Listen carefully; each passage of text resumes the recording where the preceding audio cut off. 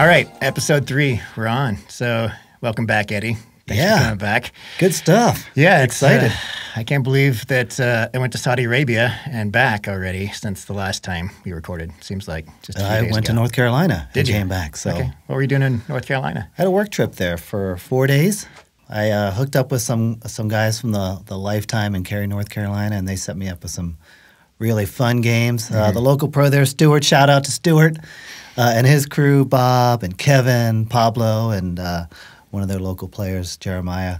We had a good time for a couple days and some really strong games. It's a lot of fun. Well, it was, it was Lifetime, you said? Yeah, lifetime. I mean, it's so great to be able to go to any place in pretty much the country. There's there's probably going to be a lifetime close by, and Right. most of them have pickleball at this point, if not all of them. And it's great to have that network available. What's your job? Yeah, so I work for the National Institutes of Health. Okay. Um, there's 27 institutes, all focusing on different um, aspects of health, and mine is the um, Institute for Environmental Health Science.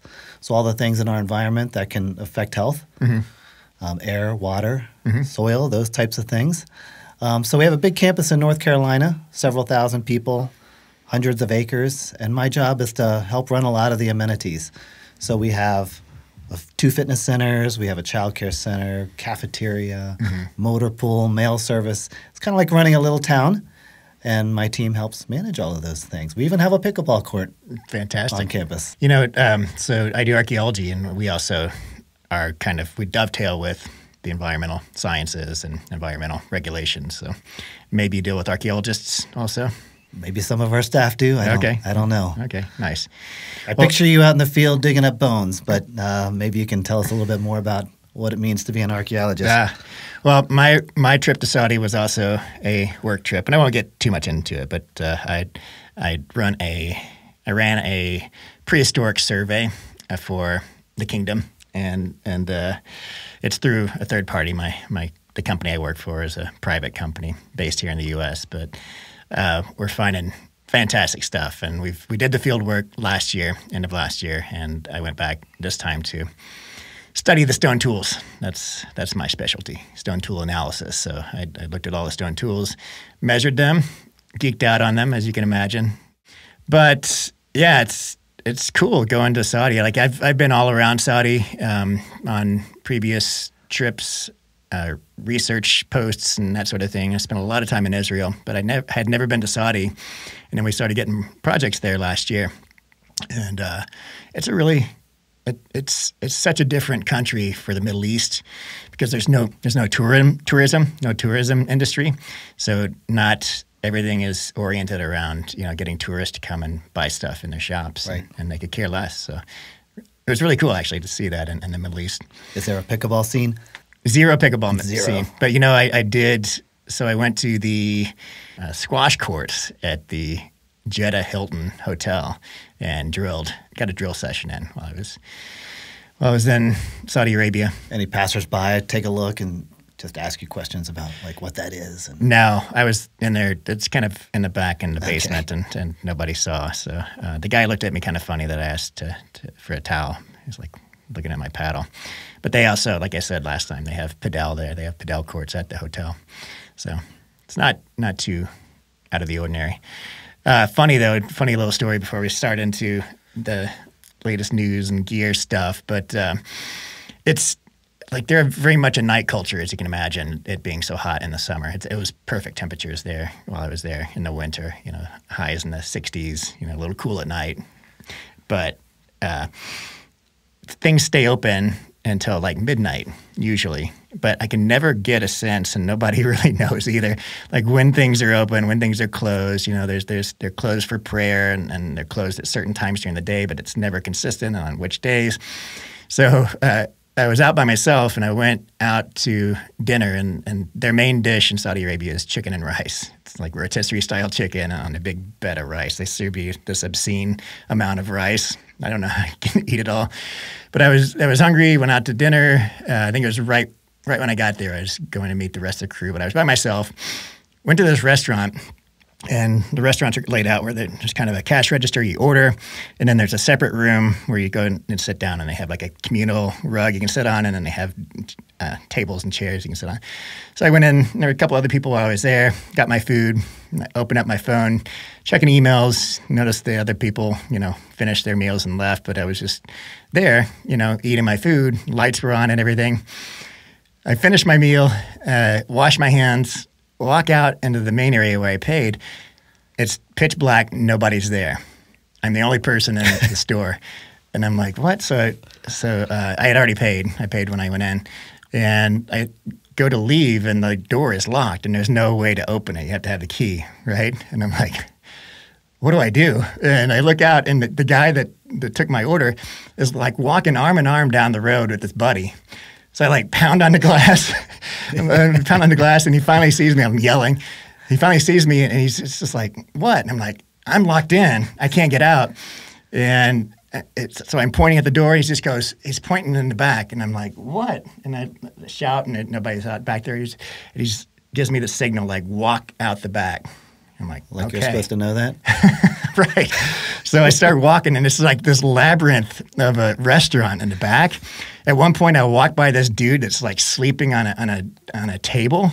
He's like legitimately asleep. It's eight o'clock at night. Like I don't know what. Maybe he's taking a nap.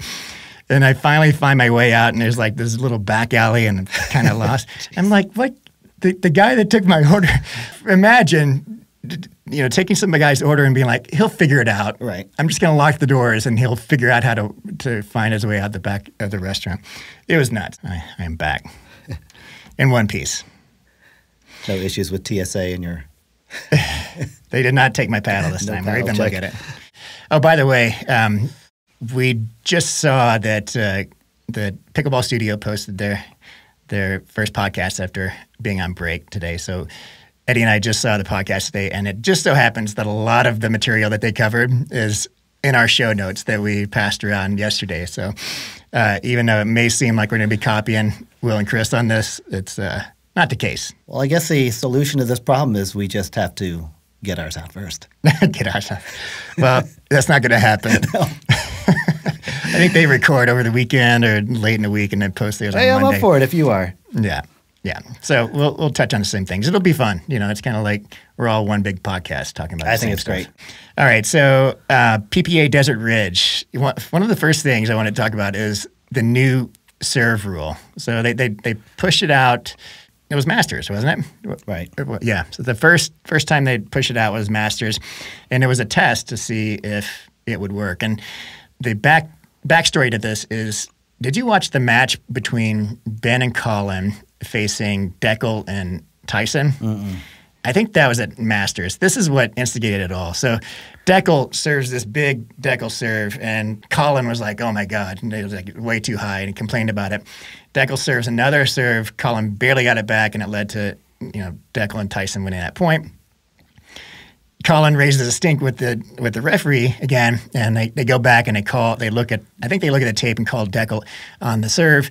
Anyway, you know Tyson's serve is is right on the borderline too, and then Ben starts serving illegally on purpose just because they weren't calling you know Dekel and, and Tyson for what they thought for, were illegal serves, and then it's they're they're all serving like nipple high. It, it becomes a spectacle. It's it's crazy. Even even Colin tried to serve and he like hit into the net. It wasn't even that hard, but but Ben was just smacking these serves and it was it was crazy. At one point, the the referees finally started calling it. So after that, I think that's what instigated the whole rule change. So the the new rule is you you, you have to drop the serve from your waist. It's not a drop serve where you bounce it. It's a volley serve, but you can you can only you can only drop it. You can't throw it up. You can only drop it, and it has to be at your down. at your pelvis or below.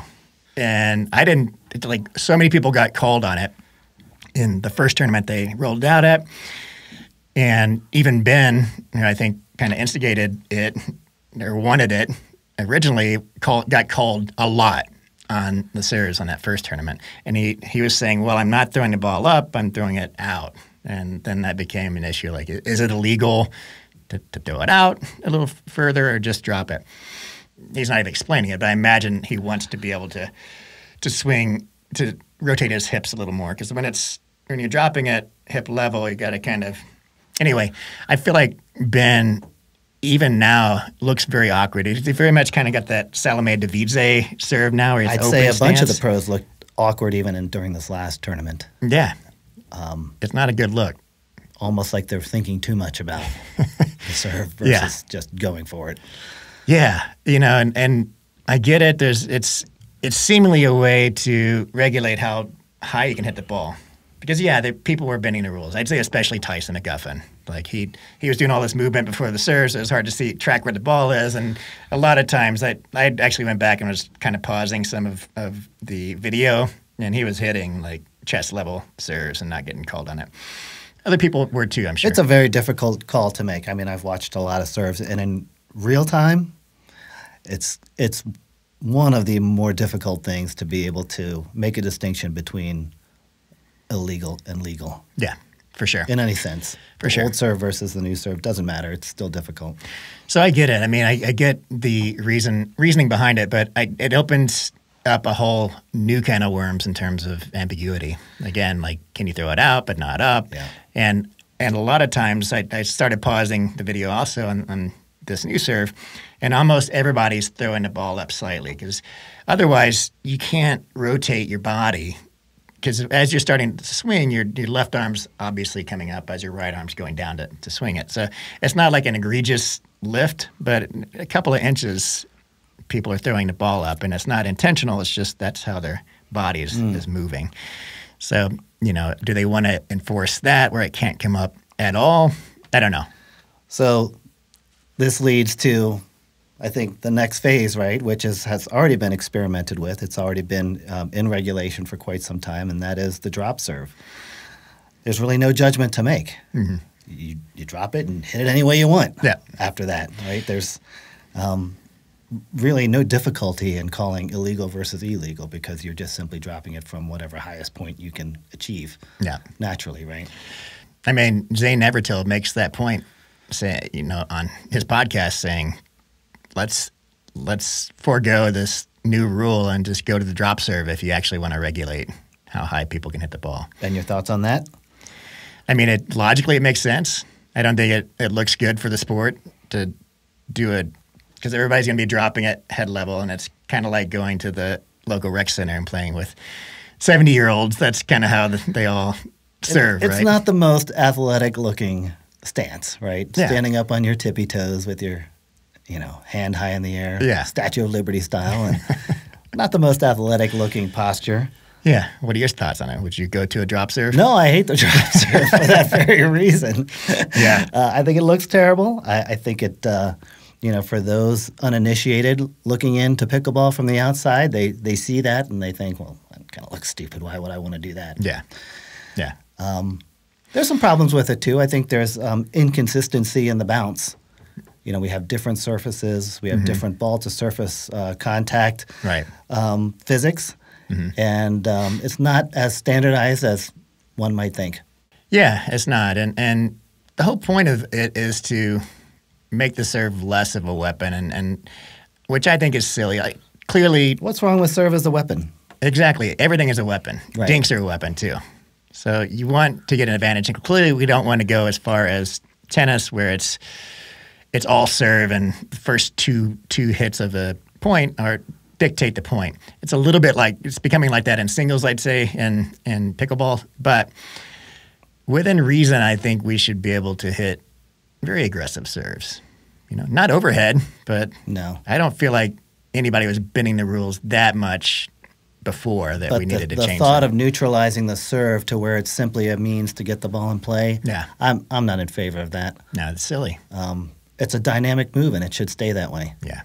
Uh, one thing though, Dekel's serve has never looked better, which is crazy because he had an amazing weapon of a serve before, and he always got called as being one of those people that been been bent the rules. And I I also went back to his video and looked, and rarely, if ever, was he actually, you know, violating the rules.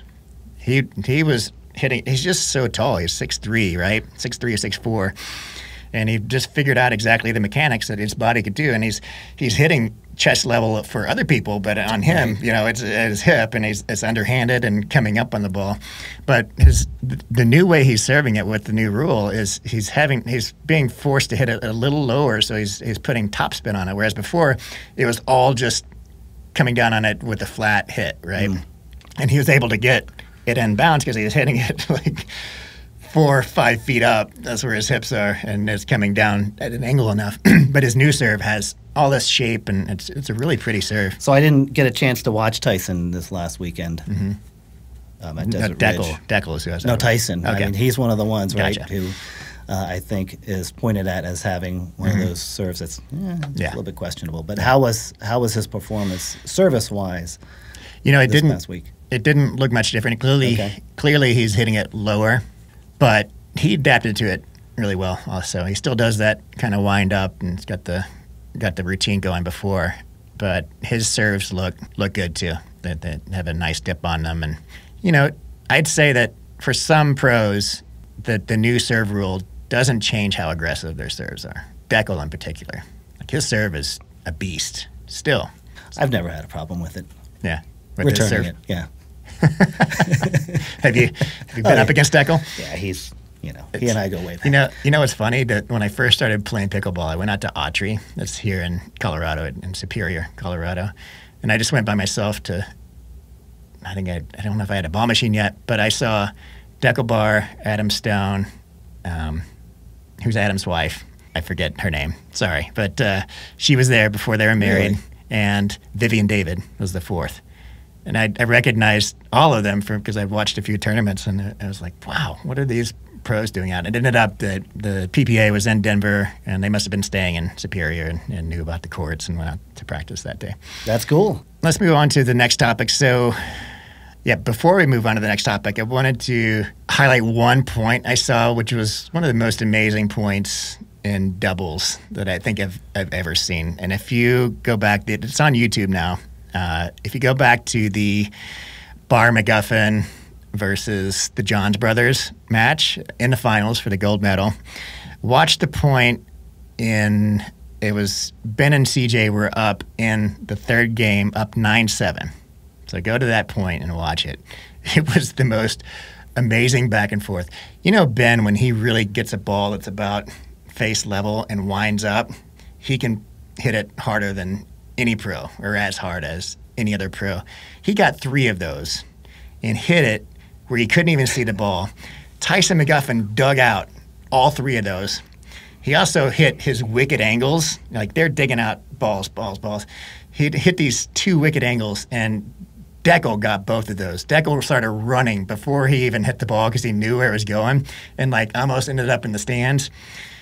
There had to be at least 50 back and forths in that in that point, and eventually Ben Johns dumped it into the net. It was the most incredible, like something you never see anyway. Ben John screwing up the last, the last point. Oh my God, it was it was that amazing. was in the finals. Yeah, it was. In, but they ended up, the Johns Bros, of course, ended up winning in three. It's a crazy match because you watch it and most of the time you feel like Dekel and Tyson are winning it because they're they're hitting you know hitting the amazing blocks and, and the right. amazing putaways, but it's just it's the grind that the mm-hmm. Johns brothers put on people, and they make fewer unforced errors. Right. right? So they right. made fewer unforced errors, and they ended up being ahead on points. And it was it wasn't even close. It was like 11-3, 11-3, 11-6 or eight or something in the end. And you watch it, and it seems like they're losing. It's crazy. What about the team of Ge and Black? Did you happen to watch any of those matches? I did. I was so impressed with Ge. What do you think? Oh my goodness! If if these two aren't the team to watch here in the next couple of weeks coming up, I mean, the the talent there, and just the fact that he in particular, Augie, Augie, Ge, yeah, uh, an unknown came out of nowhere. I had not heard of him the week before, mm-hmm. but um, such a dynamic player, such power and spin on the ball, just amazing. I think if the consistency were there, missed some thirds, missed some. I, I think for a pro, easy resets yeah. for both he and Black. Um, but if they can sort of dial that in, they're going to be in good shape. Where did he come from? I'd never seen him before this tournament. A local Arizona guy to the tournament. He had a big contingency out there rooting him on, and that may be uh, part of the, the winning factor there. But um, I expect to see him quite a bit more. Yeah, we don't have to cover the tournament in great detail, but there were a lot of close calls where Ben and Anna Leigh almost lost, and and you know Ben didn't. He lost against Jiao Mei in singles, and and there were so many. It's getting a lot closer. I feel like, and I feel like 2024 we're going to see new upright upstarts, and and you know people. It's not always going to be the same outcomes as we saw in, in 2023. Yep. Plus, he's a Vatic Pro player. So I think Guy he is, is, yeah. yes, Guy. And so I think he's there first to kind of really uh, break the barrier That's there. true. Yeah, we're seeing Vatic Pro and Mei with 6-0. You know, Very cool. Yeah, I love it.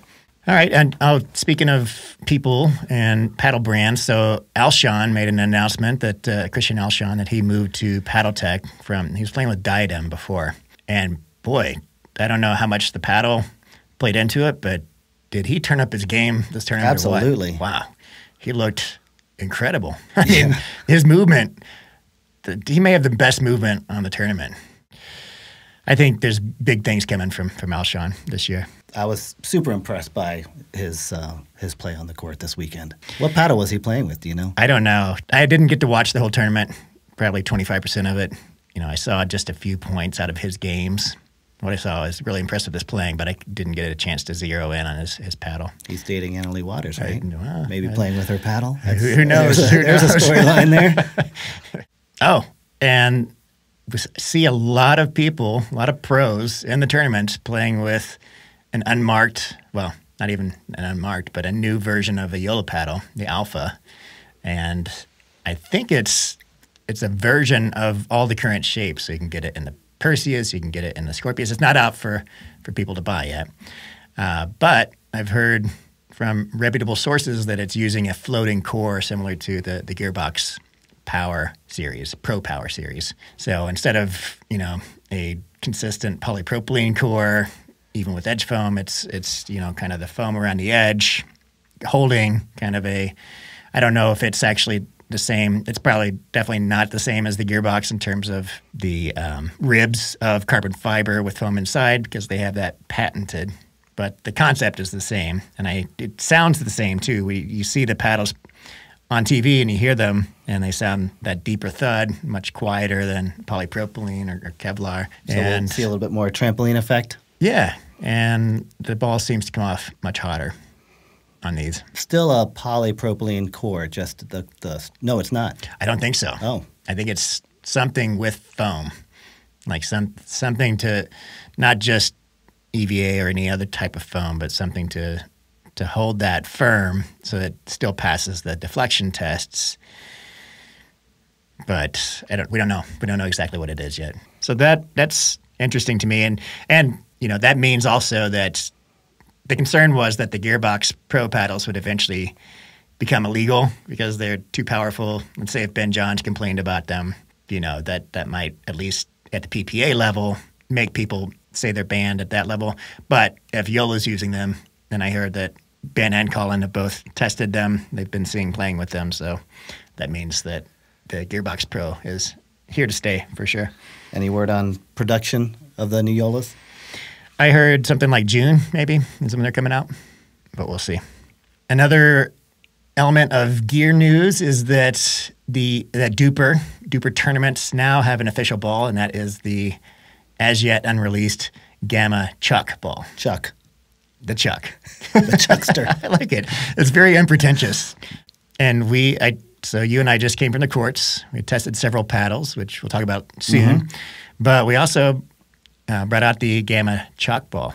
What did What did you think about it? I really enjoyed it. I, I thought it was a super consistent ball. Plays a little on the harder side.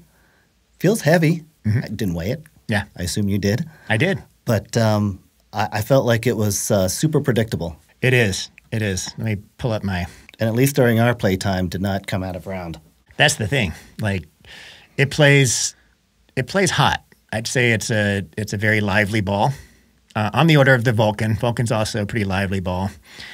And you're right, it does feel heavier, but it's not. It goes back to the fact that some balls just feel heavier than others, even though the weight is the same. It is close to the Dura and hardness. I'll pull up the spreadsheet here in a second. But I do feel like it plays definitely a little softer. And like other balls that are nudging up against Dura in terms of the hardness levels, like the Selkirk, like Vulcan. It does seem to play a little softer, and I think that's because it does soften up quicker than Dura does. Dura maintains its its hardness, I think, and that's probably why it cracks so much easier than than all the other balls. Anyhow, I, I liked it. We played about a dozen games today, I would say, with it, and I did not feel any change in consistency Right. in terms of uh, hardness or um, firmness of the ball. Okay, or so you didn't feel that? To You felt like it stayed. It started a little softer, and it stayed that way. yep. Okay. And The I wouldn't by any means call it a soft ball. Not at all. All right, so they, the Gamma Chuck is a hardness, a Shore D hardness of 59.0 versus the Onyx Dura, which is 59.3. To compare that to the new Vulcan, new Vulcan is 59.2. So the Vulcan's a little harder than the Gamma Chuck, but I like the Gamma Chuck. I like it a lot better than, Vul- than the Vulcan, simply because it stays round we played with, like you said, several games, and it mm-hmm. never once went out of round. And can't say that for the Vulcan. We actually played with that also. Threw that in a couple of games after we played with the Chuck, and there's a noticeable difference in terms of the roundness for sure. I like giving balls names. Yeah, Chuck works for me. Does Vulcan have I a name? it. The the Vulcan is the V Pro Flight. Yeah. Yeah, much less memorable than the Chuck. How much are those Gamma Chucks? Uh, the Gamma. Oh, we don't know yet. It's coming out Friday. The good folks from from Gamma actually just sent me their new paddles too, and, and a couple new, couple extra balls. Uh, they sent me, I think, twelve of the balls earlier, but they mentioned that the Chuck will be released on Friday. So we do not know how much it costs. Hopefully, I imagine, almost certainly, Less it's going to be cheaper than the Vulcan. Probably around the same price as the as the Onyx Duras. Well, it seems like Gamma has awakened from a long slumber, John.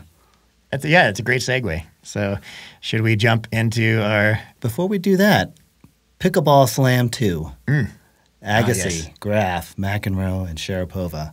ESPN on Sunday night. Mm-hmm. Man, that was fun to watch. You know, I didn't see it. I was I was traveling back from from Saudi, but uh, you mentioned what paddles they were playing, and I went and saw some of the highlights today. And first thing I noticed was how much better Andre Agassi. Good lord. God. He's a pickleball player now. He- yeah, he doesn't look like a tennis player. And that Tui is solid. I mean, it's always been solid. He's just That's what he yeah. Yeah. He had amazing Tui in tennis, but what he's doing with that that Tui and, and pickleball is I don't know if there's a better one in the pro ranks right now. Like it's probably not as consistent as most. Well, Con- Connor Garnett, I'd say, probably has a better one. It dips harder. Andre's just flies super fast and low, and it stays in most of the time. was something to watch. I mean, the difference from PB Slam one Uh-huh. to this match. I mean, he's he's transformed as a player, and he wasn't terrible then. Yeah, But now he's he's looking like a pickleball player. yeah, yeah, Soft game was on point. I mean, all four were playing good good pickleball, yeah. but he in particular. I didn't watch enough to, to be able to guess what their DUPRs might be. But from what I saw, Andre is at least a 5 now. I'd say so. Yeah, which is impressive. I mean, I'm sure he hasn't been playing that consistently, although he's not like McEnroe and he's not bashing pickleball. Did we just lose the lose the camera? That sucked last time that we lost that one. Uh, that was when your Oh, when that one your went camera out, went out okay. of focus, so I couldn't use the, the third camera. So we need this little camera over here. Um, Yeah, for McEnroe to get a big payday off pickleball when he has been so outspoken about how pickleball is Mm-hmm. forever going to be the the little brother of tennis, that that just bothers me. Yeah, I mean that's just shtick, right? But it, it is kind of a crappy way to have your cake and eat it too, you know?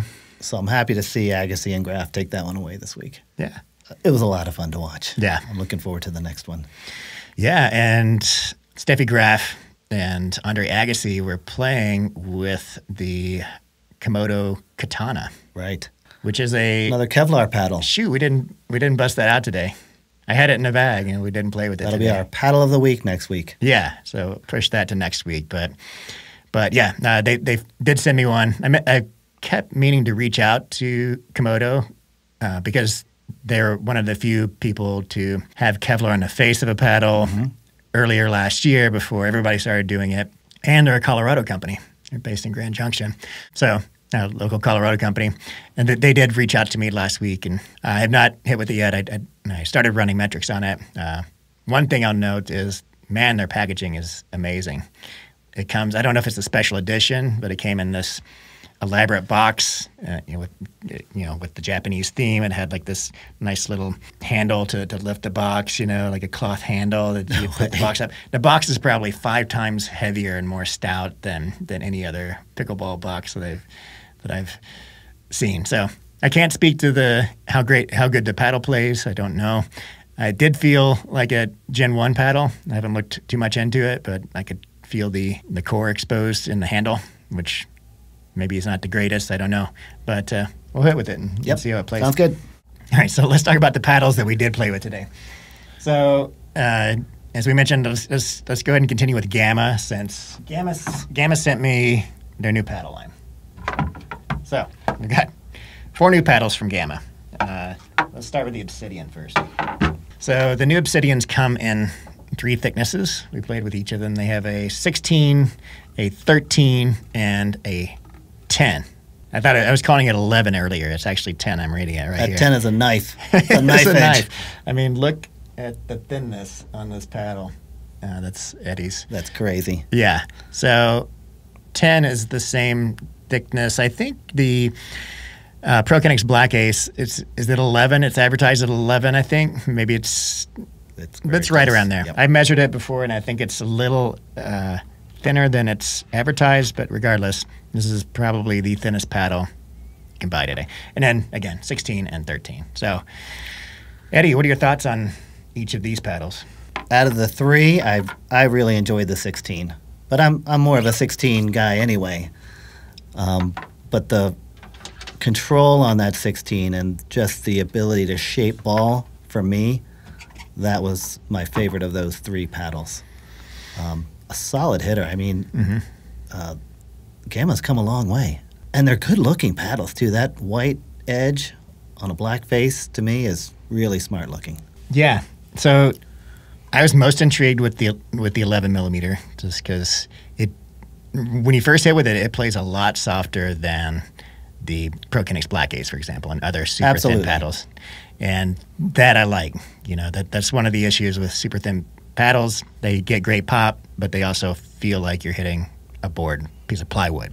And this this no. doesn't feel that Mm-mm. like that. Mm-mm. After playing with it, the sweet spot is a little smaller than the others, and there's less power as expected with a thinner paddle, but more pop.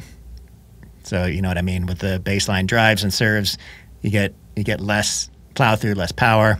But at the kitchen, there is more pop. It does. I haven't run the the metrics on it yet. I don't know what the swing weight is, but all of these felt like not the lightest swing weight. Well, I would say if I had to make a guess, uh-huh. I would put them in the 123 to 125 range.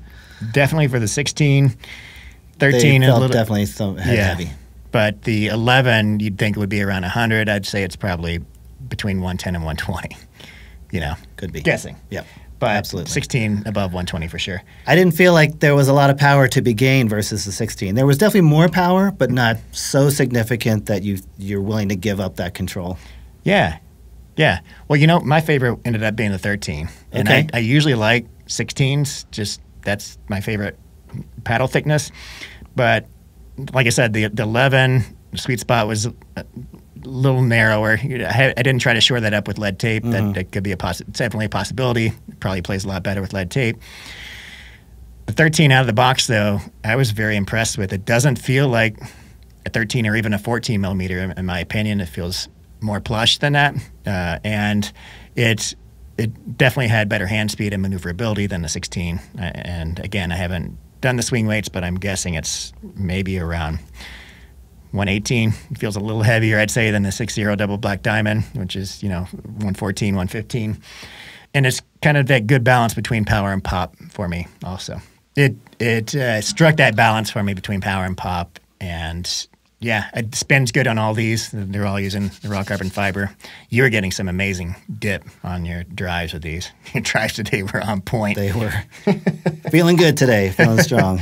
Yeah, so that's the. I didn't get a good feel for pop on any of them. We weren't really playing that type of game today, uh, being skinny singles. Mm-hmm. Yeah, Would like to get that out on a on a doubles court and see how it goes because Yeah. I feel like that's where pop really shows up. that's true.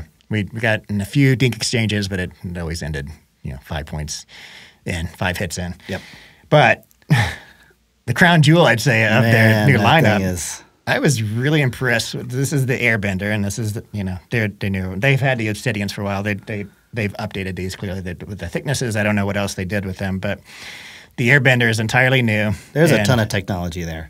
uh, you know. Again, we've only played with it for a day now, and both of us probably put in four games each with it, maybe.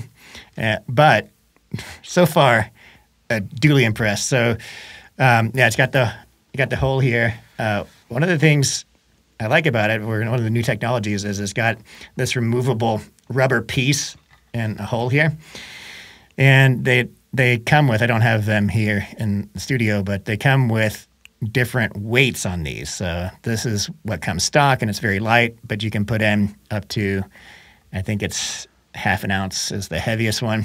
So you can add weight to the neck of the paddle, and it uh, there's vibration damping with this rubber piece. And I played with it in and I played with it out, and I did feel a difference. It Same. wasn't, yeah, it wasn't a huge difference, but it definitely reduces the vibration of the hits, which I love. I think that's fantastic. It gives the impression of a larger sweet spot than maybe it actually has. Because those off center hits, they, they can be jarring sometimes, and that I don't know what that's made of, Mm-hmm. but it does seem to absorb some of that vibration, giving the sort of the impression of a large sweet spot. And it does have a good sweet spot, but Yeah. um, maybe even feels even bigger than it is.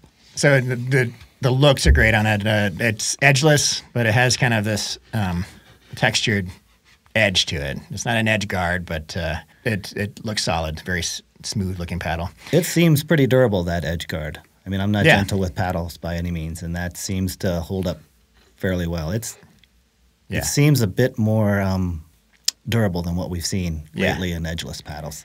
It's a little bit embossed, so there might be an issue with keeping lead tape on. I haven't thought about that. Shouldn't be too much of an issue, though. Uh, we'll talk about Braden's um, tungsten tape in a second, but I think that would stick on here just fine. But yeah, I mean, you know, I don't want to talk it up too much because I haven't played with it enough to, to really know. Uh, but so far, so good. I'd say I'm, I'm pretty happy that Gamma has, has released a, a, a good new paddle. Oh, one other thing uh, the cap on the base of the handle comes off, and you can add weight there too, which is so you can add weight to the neck, you can add weight to the handle. You know, I think this is this is a new trend that we're seeing with paddles. I think we will be seeing quite a bit of that going forward. Yeah, for sure. Any other thoughts on on the Airbender? Well, as a, a guy with two kids who grew up on the show Avatar, kind of love the name. I, I was about to say I like the name for too. Even yeah, even though I I didn't know the reference to to Avatar, but I did I do like the name Airbender. I think it's a really cool paddle name. But speaking of the caps and the base of the handle, I wanted to talk about Gryp Gryp paddles. Uh, that's the, the brand name. Uh, the paddle is Balance One. I've had this paddle now for, for months, and I, I've I've been meaning to do a review on it. I will eventually, but they were the first that I know of to use this cap technology. And again, they have a little tool you can take out the cap and the base and replace it with ones with more weight. And the the Gamma paddle, I think the the heaviest the heaviest cap is 15 grams, and theirs the Gryp's goes up to 30 grams. And it does make a difference. I actually ran some metrics on it in terms of power and pop, and I want to refine those. This camera's giving us so much grief. I want to refine those a little bit before I say too much about it. But what I did notice is since you're since you're putting weight at the base of the handle, it doesn't change the swing weight at all. It doesn't make it lighter. You can't erase the swing weight, but you can add weight and keep your swing weight completely stable. And it reduces the balance point significantly, as you as you would imagine. So, again, balance point is where you can actually balance it on your finger. So this one is here. with the butt cap, you can change that balance point, which which makes it actually feel lighter in your hands, or at least whippier. You're able to get more. I find that it, it also increases the at least the feeling of stability Mm-hmm. as well. But one of the things I noticed with the metrics is that the extra weight at the very end of the handle gave it a boost in power, just as lead tape does anywhere else on a paddle. But when you do that anywhere else on a paddle, when you add lead tape other places on the paddle, it it gives a, an equal or close to equal decrease in pop. That's a trend that I've noticed. I think Braden from Pickleball Effect has also noticed it. So it's a trade off when you throw lead or weight anywhere around the perimeter of the paddle.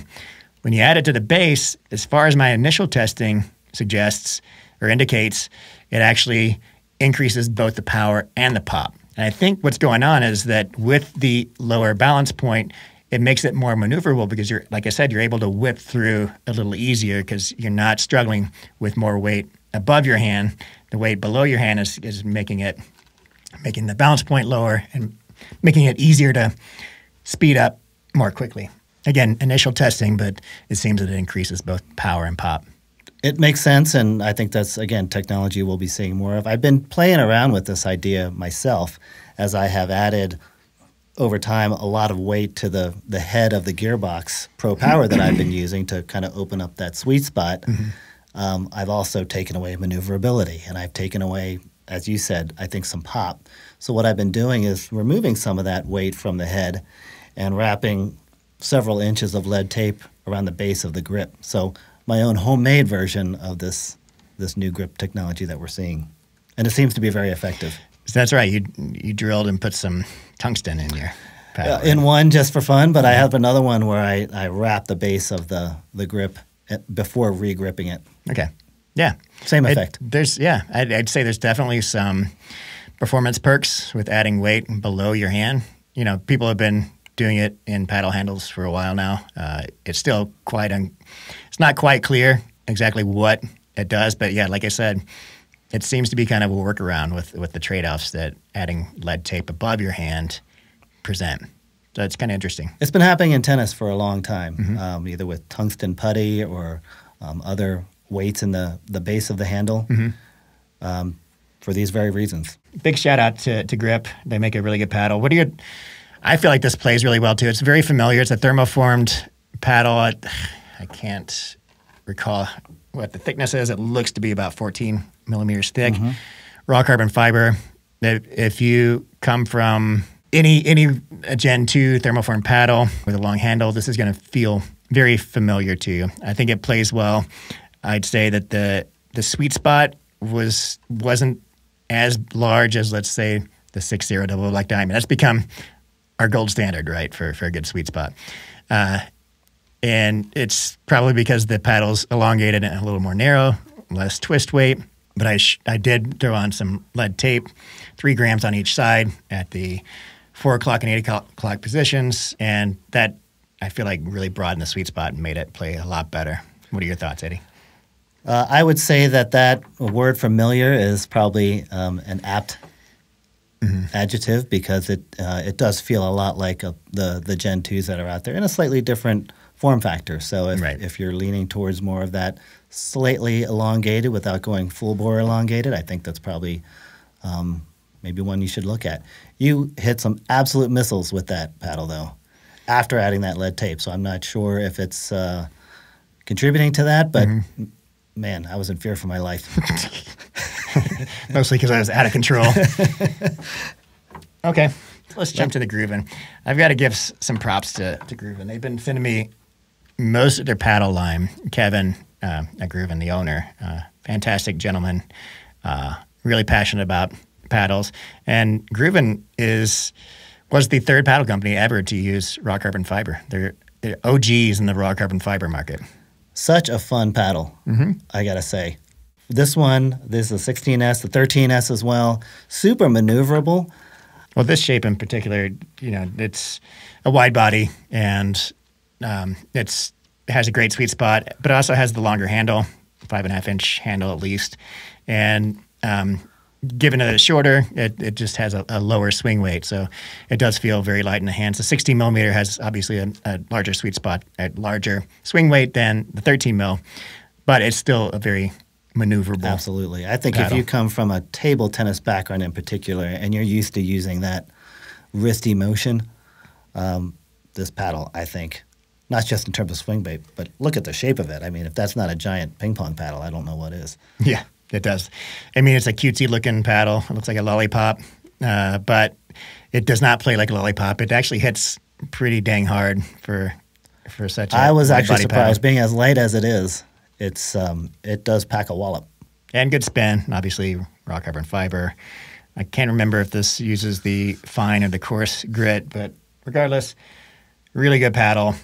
If anybody enjoys playing with a wide body paddle with an elongated handle, uh, this is a great choice, similar to the uh, Volair Mach 2 Forza. And it's thermoformed again, so it has the edge foam and it hits harder than Gen 1 paddles. Okay. Pro Drive. The Pro Drive. At the end of the day, Eddie, Eddie, and I were like, all right, let's play with our favorite paddles. I chose the Pro Drive, and you picked up the Airbender. And then at the end of that game, we were both like, man, both of these paddles are, are really great. So Pro Drive came out with a new edgeless paddle and Ooh, uh, that yeah, thing looks good. It looks really great. Yeah. A lot of people struggle with the actual edge when you when you have an edge, edgeless paddle. It looks a little rough, and some people solve that with like the way Six Zero made their Infinity series with with kind of a thick paint that they put over it. But man, this thing is just sharp all the way around. It being edgeless, it's more maneuverable than their other tank of a paddle that they released. Uh, it's 16 millimeters thick. It's raw carbon fiber, and the core is actually composed of three layers, you know, similar to what Diadem has done, uh, where they do a two thinner polypropylene layers on the outside, adjacent to the face, and then the interior core is in the middle. The sandwich core is a Kevlar Aramid. And the reason for that is control and power, both. So if you're hitting with a softer swing, softer stroke, as in a dink, that polypropylene is going to be the primary contributor to mm-hmm. how the ball flies. Right. Whereas if you're swinging harder, you're going to get to that middle part of the core, mm-hmm. Kevlar, and that's going to give you the power. That's the theory, and I think it's it's mostly accurate. I would you know, agree. I, I would say that it doesn't feel as soft as a full polypropylene core, even with dinking, but I was impressed because it feels softer than the Diadem Warrior, for example, which is a big fat boy at 19 millimeters thick, but it still it, it also has that sandwiched aramid in the center and, and polypropylene on the outside. But that one, I'd say, feels stiffer even when dinking. Uh, and the sweet spot on that is much smaller than this one. So they they've struck a good balance here that somehow they come up with a formula using aramid and cores, which I've never really enjoyed playing with up to now. I understand the benefits. It does create a poppier paddle and more power, but the the trade off for me in terms of the the feel, the vibration, mm-hmm. the stiffness, it, it, was never enough for me to to migrate toward aramid cores. But this one plays really well for an edgeless paddle, the swing weight, I'd say, again, I haven't measured it yet, but it, it's probably close to 120, if not above. So it's not as. It feels up there. Yeah. It's not as lightweight as other edgeless paddles, but the trade off with the added, added swing weight is power. This thing packs a lot of power based on my testing. And what we did today was kind of a, I think we call it the, the clash of the titans. So if we wanted to compare the most powerful paddles, the top three in my database, which happen to be uh, everybody knows by now. I think that, that have watched my videos that the Gearbox Pro Series, the, the power version of that, takes the number one spot. It's just under the EVA foam paddles in terms of the velocity of, of balls with full swings. And I mentioned in, in the last podcast, or in podcast number one, that others are creeping up on it. And we got some people in the comments, like what are the other paddles that, that are creeping up on it. So the Pro Drive was one, and the uh, Sword and Shield uh, J1H uh, was the other. So these two are, are coming up close to, but not quite as powerful as the uh, Gearbox Pro Power. Did you happen to make note of the sound of the Pro Drive. Okay, so the Pro Drive, the sound does not, it's not as pingy as full Kevlar or Aramid cores. To Um, me, it sounds different than just about every paddle out there. does it? What, do- what do you hear in it? Uh, it sounds very dynamic, very uh, explosive. Not in a high pitched way, Mm-hmm. but in a uh, almost a cracking noise. Okay, so when you hit it hard, Yeah. Okay, Sounds great. yeah. Now I'm remembering the sound of it more. You jogged my memory. That I think, yeah, it's a, there's a, a powerful sound when you hit it hard. Oh yeah. Anyway, what what are your thoughts on on this So terms of sweet I, spot? I really power? enjoyed the Pro Drive. Uh, I thought it was very consistent, easy to to extract that power. Whereas with the Sword and Shield, the power was there, but for me, I could not get to a point of consistency where I could tap into that power Mm-hmm. uh, as frequently as I would with Right. the Gearbox or even the Pro Drive. Right. Uh, I would say in you know one game of skinny singles with you, I I maybe hit one or two shots with the sword and shield that I felt like were powerful, that were exactly what I was intending to do with a particular drive. Whereas with the Pro Drive, those numbers were much higher. Yeah, you were struggling with the sword and shield. And to be fair, you know, you only played one game with it, uh, and by the end of it, you were uh, much improved from the beginning. I didn't have as hard of a time adjusting to it. It does hit hard, really hard. I'd say not as hard as the Gearbox Pro Power, and definitely not as much pop. The, the swing weight on this one is really high. I think it's close to 130. Uh, so It's a sword. it's a hammer. so, so yeah, I think um, uh, the power is there with full swings. The pop not as much as the Gearbox Pro Power, but I I enjoyed it. And one thing I noticed is, my God, the the spin on this is nuts. And I don't know if it's entirely from the raw carbon fiber texture or if it's a combination of that and, and more dwell time. One thing I did notice about this paddle is that it flexes a lot when you hit it, which maybe is what was throwing you off. I didn't mind as much. It feels so. What I mean by that is when you take a full swing and you hit it, you can feel the paddle flex at the neck. There's a massive flex point at the neck. I think that adds to the power by causing the the, the ball uh, both to dwell more on it and then also giving that that rebound be effect you get. But I did hit some really nice dipping shots. Might have even landed in the kitchen from my baseline. Oh my God, you were doing that with almost every paddle though today. So you were passing me in skinny singles. I was just like, how is Eddie doing this? like clean winners, at least like six of them. It was nuts. Um, but yeah, this this thing when you do a full swing with it can impart a lot of power. Um, so I'd say in terms of you know the absolute winner for power, I think that still goes to the Gearbox Pro Power for sure. Um, of these two, I'd say that for me, the the J1H by Sword and Shield gave more power. This Pro Drive Encounter definitely was more well balanced, though. It had the power when I needed it, it had the touch when I needed it, and the pop was, I'd say, pretty good with this. I need to to test the pop. It's not going to be as poppy as other lightweight paddles because it is a heavier swing weight, but I think the materials make up for that in terms of that aramid core providing more velocity with with shorter swings. And just to be clear, that purple is your edge tape, right? It's funny. This is my edge tape. Uh, it's not doesn't come stock. It's actually uh, Braden from Pickleball Okay. Effect sent me this, but it looks So it looks stock is straight black, stealth straight black. black. stealth black. Yeah. This looks dark gray to me.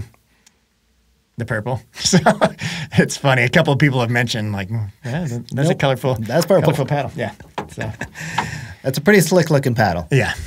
So back to our back to our favorite two. So we like the Airbender and we like the Pro Drive uh, the best out of the paddles that we hit with today. Those would be my two choices. Yeah, I, I'd say that right now my, my favorite is going to be go to, go to the Pro Drive. The Airbender is is awesome, but I, I just felt the Pro Drive just felt a little more natural. I think something about the the launch angle trajectory was a little more similar to my um, Ruby with the Pro Drive. But to be fair, this is after maybe six games with Right. each paddle, so I don't, you know, I can't declare that this is, is much better than than Now, if Airbender. Gamma with that airbender, Mm-hmm. if it were in the shape of their other line of paddles, now that to me would be really interesting. I, I'm not a huge fan of the the square of the Airbender. I love the edge guard. I think that's cool. Um, the throat is Mm-hmm. Oh, you mean neat. you, you mean the obsidian? You're not a fan of the obsidian shape. No, I am a fan of the Obsidian. Oh, shape, okay, Yeah. but you wish they had that in the that shape, but with the, Airbender, Okay, interesting. tech. That's true. So the the obsidian, I feel like flares out a little bit similar to the six zero design, where it flares out a little bit toward the head of the paddle. Yeah, it's cool looking. But I think it also provides some performance perks too, in the sense that it broadens the sweet spot by Right. making the twist weight larger. So I didn't feel that the that the Airbender lacked in sweet spot. I mean, like any edgeless paddle, it's not going to have as large of a sweet spot as as paddles with edge guards. But there's enough weight in the perimeter. I don't I don't know exactly what the technology is, but I imagine they have edge foam in there, perimeter foam, and whatever they did with the edges added some weight to it. It's, it's not just a, a flimsy, thin edge. There's there's something going on on the edges to, Agree. to add some weight. So great paddles. Yep. I, I enjoyed playing with with all these today, and I'm pretty happy that Gamma's making some some waves with new paddles and good new paddles too. What's next, John? Okay. I wanted to make a section for the podcast where we do kind of a deep dive in kind of testing, or just a deep dive in, in what I'm doing currently, what we're doing currently to kind of test paddle. So I'm always kind of thinking of, of new ways to come up with metrics that would measure performance on a paddle. And as we mentioned before, with the Airbender, with, with that rubbery insert in the neck, it reduces the vibration and it makes the paddle feel better in terms of the sweet spot. Maybe the sweet spot's not actually getting wider in terms of the rebound of the ball around the perimeter, but it feels better when you're hitting it because there's less vibration going in your, into your hand. I thought about that a while back when I was measuring surface hardness. I thought I would kind of get a sense of, of a paddle's plushness versus hardness by measuring it with the durometer. And like I mentioned in the first podcast, it doesn't really work that way. And I think the reason is that plushness plays into the vibrations going into your hand from the paddle. So I started brainstorming about ideas on how to actually quantify plushness, surface hardness, and hopefully even sweet spot. Uh, I don't know how far this is going to take me, but I got a this is an accelerometer which measures vibration frequency and also it measures the the pitch of this device you know this way and this way so it's kind of a three-dimensional both vibrometer and you know the, the angle that the pitch going is going back and forth and then this is an impact hammer these are not common i actually ordered this from a factory in china and you pull this plunger back and you strike it against something and it delivers exactly one joule of force uh, when you strike it. So this is the standardized way. And, and my thought was I'd put the accelerometer on the handle where your hand goes, and then mark the paddle uh, spots every inch or so, uh, you know, on the x-axis and y-axis, and then measure the vibration frequency with the accelerometer, as well as if you clamped it down with something simulating a human hand and created the same grip strength on each of them, then the, the amount that the paddle bends on the y-axis and also twists when you're off off axis would tell you a lot. So biggest difficulty I'm having right now is actually finding something to, to consistently grip the the handle. It's sounds easier than it is. I've, I've had some issues. So if anybody knows of a device that it would actually create like a vice and squeeze the, the paddle grip similar to a human hand, and not just in one spot, but you know about the width of a human hand, hit me up in the comment section, please, because I'm having issues with that. But but that's the goal is to eventually quantify uh, the vibration of the paddle and see if that actually relates to our feeling of the paddle in terms of plushness versus hardness and also potentially the sweet spot. Sweet spot. That would be huge. Yeah. You want to feel the Yeah, give it to me. That's that's not insignificant. It's not, you know, I It's more than I thought it was going to be. one Yeah. joule of energy. I, I did the calculation, and and it was the equivalent, basically, of equivalent of a pickleball traveling at twenty something miles an hour and hitting the paddle. But as you can see, I think it's more than that. So if I'm just holding the paddle with a loose grip, I'd say three out of ten. I hit the the paddle. I don't feel like your paddle's going to move that much with a twenty mile per hour pickleball. I could be wrong. And that really sort of exemplifies what an off center hit impact would be. Mm, I mean, right. don't necessarily have that feeling with a pickleball, but for something like that, it's really going to be obvious. Yeah. One inch off center, two inches off center. Oh, God. It's it's that's going to be really interesting data. Okay, let's move on to gear of the week. Things that we're kind of enjoying at the moment. Doesn't have to be paddles, but it's funny. I am very particular about glasses that I wear. I used to have this shirt in high school that said "function before fashion," and that was kind of my motto. I'm like, if something works, then what does it matter if it looks like? And I'm gone away from that a little bit. No, you know, and but I'd say for for glasses, like I'm very particular about the glasses I put on my face. My my eyeglasses that I wear are like Italian designer glasses. Not not nothing you know too outrageous, but I just I like the company. All of, all of our people, uh, they just make quality glasses and they make the designs that I like. But I've had a really hard time finding safety glasses for pickleball. You know, I went through most of the major brands and they just didn't feel right or it didn't look look right on my face. But I landed on Ria Eyewear. Seeing ads about this. I have too. That's actually what turned me on to them. They're not cheap. I, I spent over two hundred dollars for these glasses and and the extra lenses, but I'm really happy with uh, these in particular. So they make pickleball specific um, protective glasses. The lent again Italian made, Italian design and manufactured. Uh, the lenses come in different shades. I got the I played with the clear ones today. They have an indoor kind of orange tinted lens that I've tried. I still have them. I found that in dimmer lighting, I have a harder time seeing with them. Uh, so like at the Lifetime Westminster location we play with, mm-hmm. it's at a basketball court with kind of the harsh lighting, and I have a hard time seeing with the orange tinted lenses. These clear ones did a lot better for me. Uh, the lenses do not fog up. And I feel very secure with Do these. Do you wear a prescription, John? I do, but but I don't need them for a distance. It's just You don't. Okay. just reading glasses, basically. So yeah, I mean, I'm not connected with RIA. I don't have an affiliate code or anything, but I think they make fantastic glasses. If you're willing to spend a lot of money on protective glasses, Well, for me, outside of the paddle, if you're going to spend money somewhere, it's keeping your eyes safe and your shoes. I mean, seeing the ball and getting to the ball to me are the probably the two most important things about pickleball. So I don't have a problem spending money on on good eyewear. I probably have 20 pairs of glasses, and I I do wear prescription glasses. Uh, for me, I've been wearing these for about a year. These are Oakley's. Uh, these are the Flak 2.0. What I like about these and what uh, is in common with your eyeglasses is that it's three points of contact that are all rubberized. So the nose and, and your two temples all rubberized. So if you don't have that, these things are flying off, right? Right. Especially when you're sweaty. Uh, and these, the sweatier you get, the I think the stickier they are. yeah. These are prescription, and they're prescription from and from side to side, up and down. Oh, really? So Okay. throughout my entire field of vision, I'm seeing clearly That's that's which pretty amazing. is great. A lot of sports sunglasses, especially these types of wraps, come with uh, an insert for prescription. They make the glasses heavy, sort of front heavy, Uh-huh. because it's it's a you know a thing you stick inside, Right. A, a subframe almost, uh, and then you're only getting clear vision throughout a small fraction of the whole wrap. Right. These are side to side, and these are actually customized from a company called Sport RX. Uh, I think they're in California, but they work with a lot of brands like Oakley um, to provide their own lenses, Right. um, which is cool. These are great. I love them for indoor. I have to think about what to do for outdoor, but um, I love the wraps.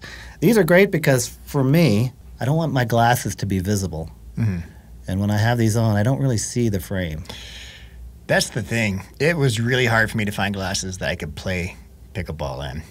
I I struggled even with sunglasses outside. It took me, me a long time to find a balance where I, I played well with sunglasses, but indoors was particularly bad. I, Yeah. I could not find glasses that didn't throw off my equilibrium indoors. Or, and like I said, I'm kind of a snob when it comes to the looks of glasses. Those look those look fine. I went through some Oakleys that didn't fit my face well, uh, and I've seen some the kind of obnoxious looking ones that other you know other people wear. But those you know, those are subtle and, and look look fine. Yeah.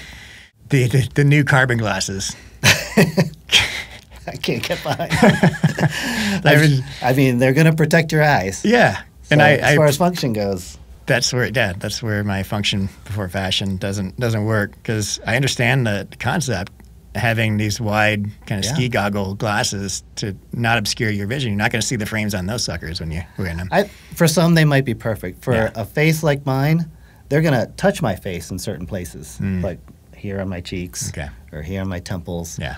Uh, and I can't stand that. I don't want to feel my my glasses Yeah. in any way. That's one sort of issue with, with these RIAs is there's a pretty thick nose guard, and that's that's for protection. You know, if, if you do get hit, hit hard in the face, your the bridge of your nose is going to take the brunt of the force. You know, and, Yep. and, and it's going to cause the glasses not to break too.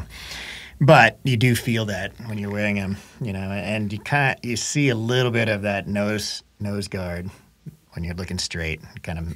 But it didn't take me long to get used to these, and and in all honesty, these perform better than any other protective glasses that I've worn. I've heard a lot about them. People have great things to say about Ria.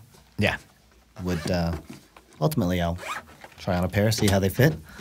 yeah, I've been hit in the eye before. I mean, before when I first started pickleball, I refused to wear glasses. I thought people looked silly. yeah, Uh, I thought it was like not the cool thing to do. Uh, and you know, I, I'm pretty aware of balls coming at me from the other team. What happened was a ball ricocheted off my partner's paddle, kind of hit the edge guard right into my eye, and I was, I was out. I had to go to the you know the emergency eye doctor and um, have all that taken care of. Scratched cornea was the end result, but it, it could have easily been a, a lost eye. it's scary stuff. Uh, you, you it's don't have, worth it. If it's, you know, two hundred dollar pair of glasses, that's a really good insurance policy. you know, we're on power paddles today, kind of compared to Yeah. the most powerful paddles. And as paddles are getting more powerful, it's it's necessary. Oh, I w- watched I watched uh, Braden's new podcast with uh, Porter Barr, and there was a scene in there. He had a video of him getting hit right in the eye. Yeah.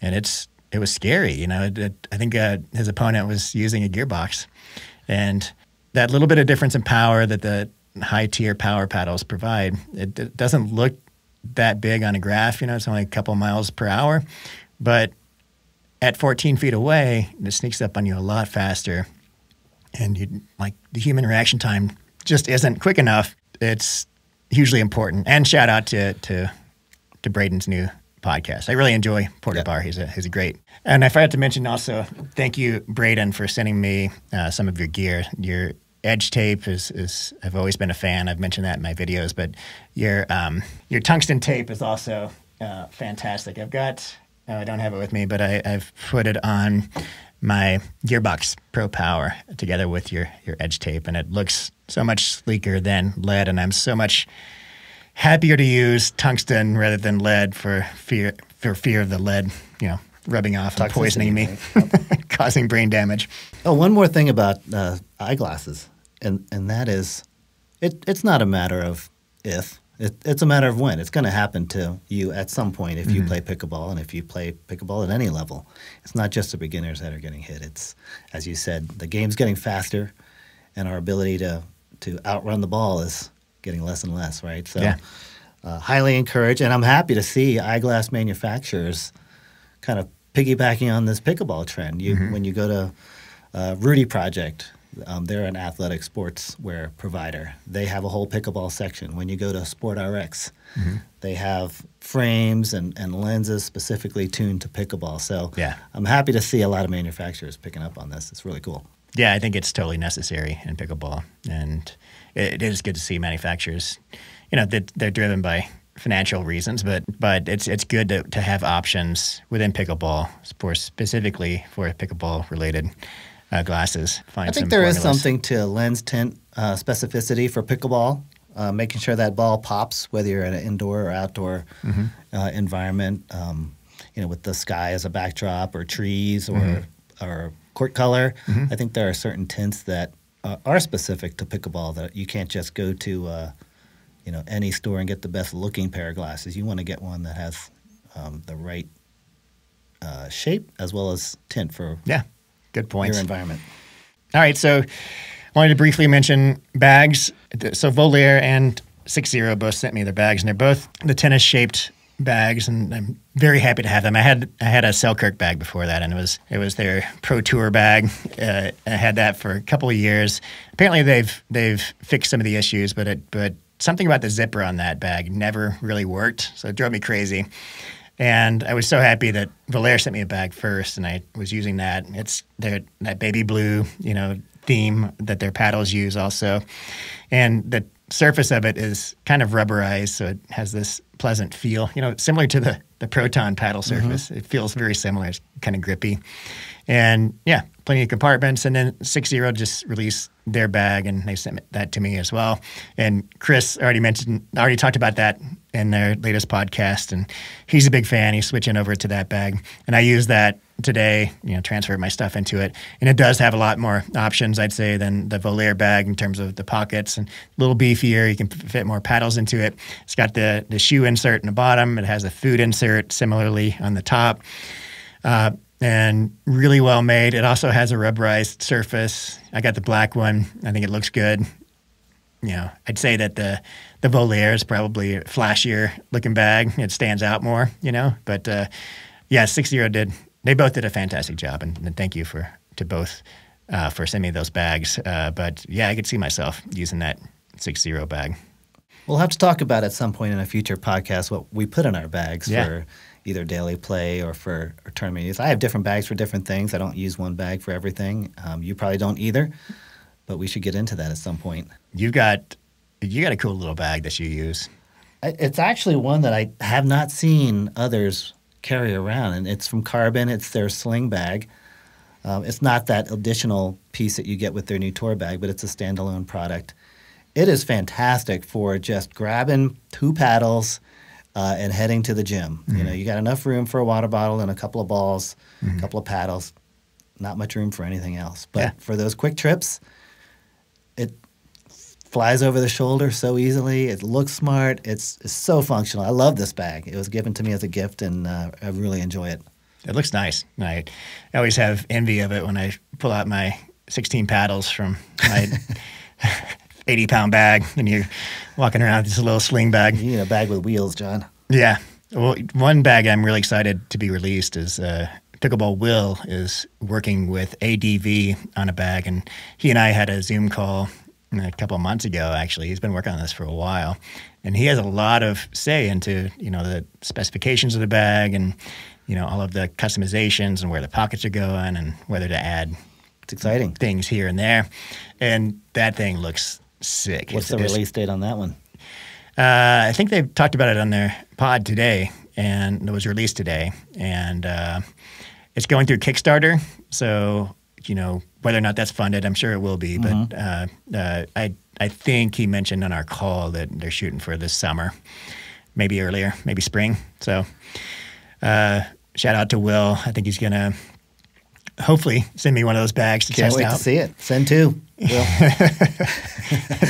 are going to be they're going to be pretty posh bags, uh, just from what he was telling me. Oh, and one cool thing about them too, which which is a gripe I have with with every pickleball bag I've ever had, is that the interior of the bags I have are black. Yeah, and you open it's up these big cavernous black hole. Yeah, you, you, can't see anything in there. But uh, yeah, he's using um, a brighter color on the inside. I would love to see reflective. that more. I never thought that it would be like a thing that I would care about. Right. But having that option is so handy because yeah. stuff gets lost down there and never to be seen again. Okay, what, where are we time wise? Do we have time for a for a reader question? Um, yeah, let's move on to Q and A, our, our sort of last segment for today. I actually got into a conversation with somebody, an email conversation. Somebody emailed me through my website, and we just started geeking out about about different paddle metrics, and we got in, into a long conversation about power and pop.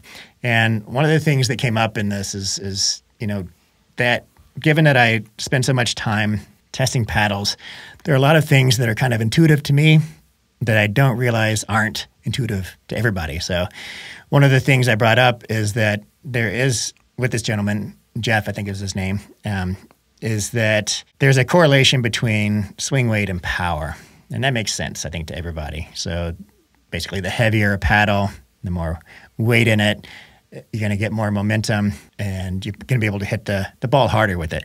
And there is, I plotted it out. So I took my paddle database and I did a scatter plot with swing weight and with the power rating, so miles per hour the ball of serves I hit. And there's a positive correlation. Makes it's sense. not super tight, you know. There's there's some spread off of the off of the trend line, but uh, I think the R squared was like 0.06, so not extremely st- strong relationship, but definitely a positive correlation. But I think what's less intuitive, and, and Jeff mentioned this in the email, is is that there's a negative correlation between swing weight and pop. So in other words, the higher the swing weight of a paddle, the less pop you get, and that goes back to what we were discussing earlier that when you put lead tape on a on the perimeter of a paddle, even at the neck area, it's going to decrease your pop because that's adding some swing weight to it and reducing your ability to really get from a dead stop acceleration on a paddle. So, testing paddle after paddle after paddle, I've just noticed this and it's become kind of ingrained in me that yes, a paddle that feels heavier is going to get better power and less pop. And when you add weight to a paddle anywhere above your hand, it's also going to reduce the pop and generally increase the weight, which is to bring us back to the Gryp paddles and the new Gamma paddle, the Airbender. That's the benefits, I think, of, of putting weight at the base of the handle is that you're going to possibly be able to increase both power and pop that way to an extent. We don't know what the threshold is where too much weight is going to be counterproductive in terms of those perks. So anyway, that was a fun conversation uh, that that I had, and it makes sense too when you think about it. Like if you gave a hypothetical example of a semi truck and a smart car sitting on a line on a road, and you put a giant pickleball in front of each of them. If you put the pickleball let's say 200 feet in front of them and both they both hit the gas at the same time, the semi truck is going to make the pickleball bounce a lot further and faster than the little smart car. You know, just because it has a lot more mass behind it to create all that effect. But if you move that giant pickleball up to 10 feet away and you allow them to both press the gas, the smart car is going to be able to hit the ball further and faster than the semi truck because the semi truck will only pick up a few miles per hour at that point because it has it can accelerate less. At some point, there's going to be a threshold where where the semi truck is going to surpass the smart car in terms of the velocity it puts on the ball, even at lower speeds because of its greater mass. So it's the same with paddles, right? So the, the lighter weight paddles, you're going to get more pop, and the heavier weight paddles, more power. That is not discussing the materials in the paddles, though. So that's where you get the variance off of that trend line. That's why it's not a perfect one to one correlation because the paddles have different materials in them. So as we talked about, Aramid Kevlar cores produce more power, more pop, and face materials. Handle length also plays into this. There's a there's a positive correlation also between handle length and power because you get more ability to leverage the paddle and hit the ball harder. So all fun stuff. That was a that was a good conversation. So thank you, Jeff, for sending in. A, you could tell he's educated and probably engineering because uh, he had a lot of good commentary to go with that. But I thought I'd bring that up and, and something that you know he mentioned was not so obvious is that negative correlation between uh, swing weight and pop. I would say that's probably not intuitive at all. Yeah, because you think of um, you know those those terms sort of in the same vein. Mm-hmm yeah. many times, and uh, clearly they're not. And I think you know that it's interesting too. I think Braden is working on his paddle database, and he is also going to be including power and pop metrics. I'd be very interested to see how his compares to mine. And he's doing it the same way, I think. I need to talk to him about it, but I saw a short video clip of him doing testing pop, and I think he's doing the same method that I'm doing, where you hold it on your chest and drop the ball and hit it that mm-hmm. way. So you're kind of limited. You can't really do a big backswing with with it on your chest like that. So if he's using the same methodology, we should get fairly similar results. You know, we both have different, slightly different body mechanics and, and different ways of measuring the miles per hour. He has a I called it the flux capacitor, his new machine. I forget what he's using, but that thing is, is really fancy. It's a large large gun that measures spin and mm-hmm. speed. Um, and I'm I'm using something that also measures exit velocity, but it's a much smaller smaller radar gun that you can actually attach on a tripod. What about those situations, John, when you're just simply holding the paddle stationary? You're not putting any forward Mm-hmm. uh, momentum or force into uh, your defense or even your attack, but honestly, is, just holding it steady and letting the ball, the force of the ball, uh, rebound uh, into your opponent's kitchen or back at them. Um, that is also pop. Yeah. Uh, yet the measurements of that would be, I think, completely different than uh, a, a six inch or a one foot That's a really good point. acceleration. That's There's a really no good point. Yeah, and I've I've worked on measuring that too. Uh, I called it rebound, and I set my paddle up in a vise. I got like a, a grip device that you can tighten, and put that vise at the exact same distance from the top of the grip for each paddle, and I tightened it the same hardness, the mm-hmm. same tightness on each paddle.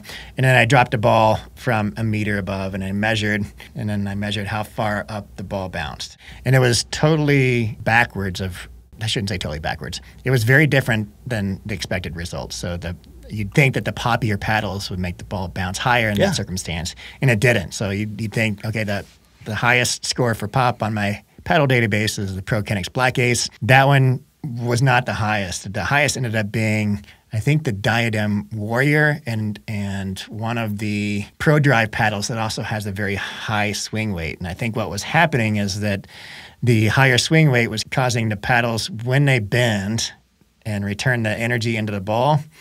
That higher swing weight was adding velocity to the ball simply by virtue of the mass, you know, of, of so that wasn't an effective experiment because it's not measuring pure pop. I think to do that, what you'd have to do is similar to kind of a coefficient of restitution test where you stabilize the paddle perimeter on a wall. So you kind of put, let's say, four rubber stoppers on a wall and kind of clamp the paddle to those stoppers so that it can't have any flex in the handle and fire a ball at that and measure measure the exit velocity of the ball off the paddle. I think that's the the best way to get at.